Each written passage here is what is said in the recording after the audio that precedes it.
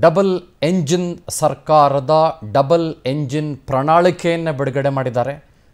ಸಹಜವಾಗಿ ಆಡಳಿತದಲ್ಲಿ ಇರುವ ಒಂದು ಪಾರ್ಟಿ ಅಥವಾ ಒಂದು ಸರ್ಕಾರ ಯಾವೆಲ್ಲ ಜನಪ್ರಿಯ ಯೋಜನೆಗಳನ್ನು ಜಾರಿಗೊಳಿಸಬಹುದೋ, ಆ ಜನಪ್ರಿಯ ಯೋಜನೆಗಳ ಮೂಲಕ ಮತ ಬ್ಯಾಂಕ್ನ ಕಡೆಗೆ ಕಣ್ಣಿಡಬಹುದೋ, ಅದನ್ನು ಸುಸ್ಪಷ್ಟವಾಗಿ ಈ ಪ್ರಣಾಳಿಕೆಯಲ್ಲಿ ಮಾಡಿದೆ. ಆದರೆ ಬಹಳ ಮುಖ್ಯವಾದ ಪ್ರಶ್ನೆ ಎಷ್ಟರ ಮಟ್ಟಿಗೆ ಪ್ರಾಕ್ಟಿಕಲ್ಲಾಗಿ ಮೋಸ್ಟ್ ಪ್ರಾಕ್ಟಿಕಲ್ಲಾಗಿ ಇದನ್ನು ಈ ಸರ್ಕಾರ ಅಥವಾ ಬೇರೆ ಯಾವುದೇ ಪಾರ್ಟಿ ಅಥವಾ ಮತ್ತೊಂದು ಯಾವುದೋ ಪಾರ್ಟಿ ಇಂಪ್ಲಿಮೆಂಟ್ ಮಾಡುವುದಕ್ಕೆ ಸಾಧ್ಯ. ಆ ಪ್ರಶ್ನೆಯನ್ನು ಮುಂದೆ ಇಟ್ಕೊಂಡೆ, ಇವರು ಕೊಟ್ಟಿರುವ ಭರವಸೆಗಳನ್ನು ಗಮನಿಸೋಣ. ಬಿ ಜೆ ಪಿಯ ಭರವಸೆಗಳು ಏನು? ನಾನು ಚಂದನ್ ಶರ್ಮಾ, ನಿಮ್ಮ ಜೊತೆಗೆ ಇವತ್ತಿನ ಹನ್ನೆರಡು ಗಂಟೆಯ ನ್ಯೂಸ್ ಬುಲೆಟಿನ್ನಲ್ಲಿ ಕರುನಾಡಿನ ಜನರ ಮನಗೆಲ್ಲೋದಕ್ಕೆ ಬಿಜೆಪಿ ಈ ಸೂತ್ರ. ಎಕನಮಿ ಈಕ್ವಲ್ ಆಪರ್ಚುನಿಟಿ ಎಂಪವರ್ಮೆಂಟ್ ಆರ್ಥಿಕತೆ ಸಮಾನ ಅವಕಾಶ, ಸಬಲೀಕರಣ. ಹದಿನಾರು ಪ್ರಮುಖ ಭರವಸೆಗಳನ್ನು ಭಾರತೀಯ ಜನತಾ ಪಾರ್ಟಿ ಕೊಟ್ಟಿದೆ. ಅನ್ನ, ಅಭಯ, ಅಕ್ಷರ, ಆರೋಗ್ಯ, ಅಭಿವೃದ್ಧಿ. ಅದರ ಜೊತೆಗೆ ರೈತ ವರ್ಗಕ್ಕೆ ಹನ್ನೆರಡು ಭರವಸೆಗಳನ್ನು ಕೊಟ್ಟಿದೆ ಕೇಸರಿ ಪಡೆ ಇನ್ನೂರು ಮೀನು ಕೃಷಿ ಉತ್ಪಾದನೆ ಕೇಂದ್ರ. ಭಗೀರಥ ಶಪಥ ಯೋಜನೆಯ ಅಡಿ ಬಾಕಿ ಉಳಿದಿರುವ ನೀರಾವರಿ ಯೋಜನೆ ಪೂರ್ಣ. ಅದಕ್ಕೊಂದು ದೀರ್ಘ ಹಾಕಿ ನೀರಾವರಿಗೆ. ಇಸ್ರೇಲ್ ಮಾದರಿ ಹನಿ ನೀರಾವರಿ ಯೋಜನೆ. ಮೂವತ್ತು ಸಾವಿರ ಕೋಟಿ ಮೊತ್ತದ ಕೆ ಆಗ್ರಿಫಂಡ್ ಯೋಜನೆ.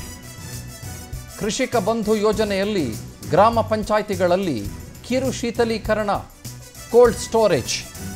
ಎಪಿಎಂಸಿ ಕೇಂದ್ರಗಳ ಆಧುನೀಕರಣ ಮತ್ತು ಡಿಜಿಟಲೈಸೇಷನ್. ಐದು ಹೊಸ ಕೃಷಿ ಉದ್ಯಮ ಕ್ಲಸ್ಟರ್, ಮೂರು ಆಹಾರ ಸಂಸ್ಕರಣಾ ಪಾರ್ಕ್ ಸ್ಥಾಪನೆ. ಹಾಲು ಉತ್ಪಾದಕರಿಗೆ ಪ್ರೋತ್ಸಾಹಧನ ಅದಕ್ಕೂ ಒಂದು ದೀರ್ಘ ಬರಲಿ.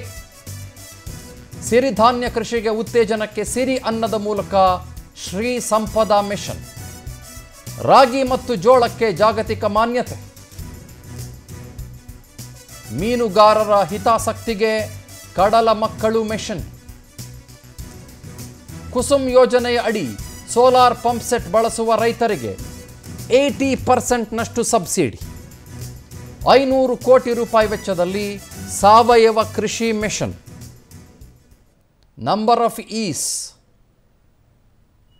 ಇನ್ನು ಸಿಕ್ಕಾಪಟ್ಟೆ ಇದ್ದಾವೆ ಬಿ ಪಿ ಎಲ್ ಕುಟುಂಬಕ್ಕೆ ವರ್ಷಕ್ಕೆ ಮೂರು ಸಿಲಿಂಡರ್ಗಳನ್ನು ಹಬ್ಬದ ಸಂದರ್ಭದಲ್ಲಿ ಕೊಡೋದು.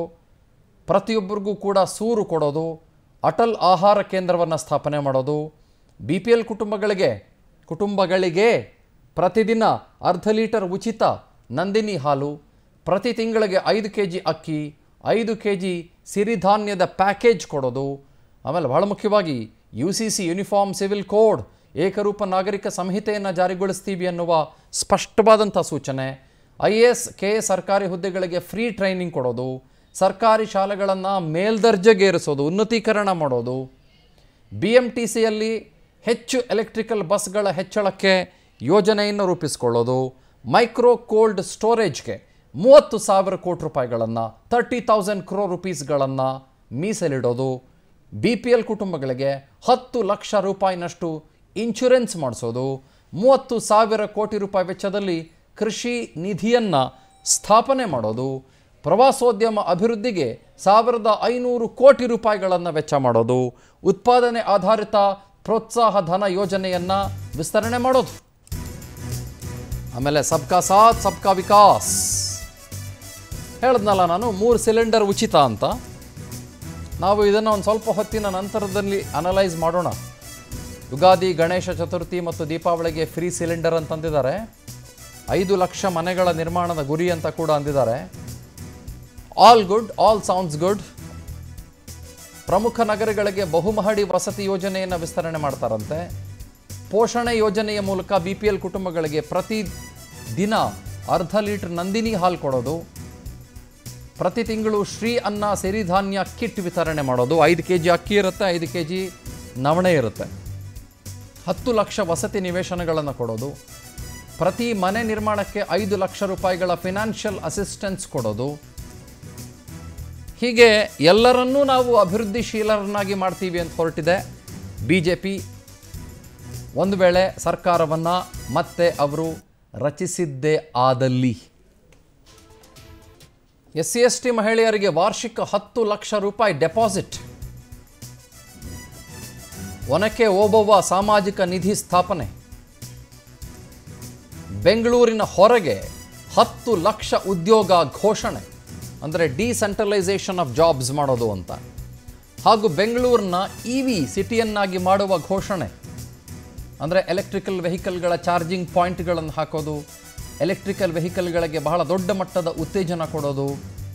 ಹೀಗೆ ಹಲವು ಯೋಜನೆಗಳನ್ನು ಬಿ ಜೆ ಪಿ ಹಾಕ್ಕೊಂಡಿದೆ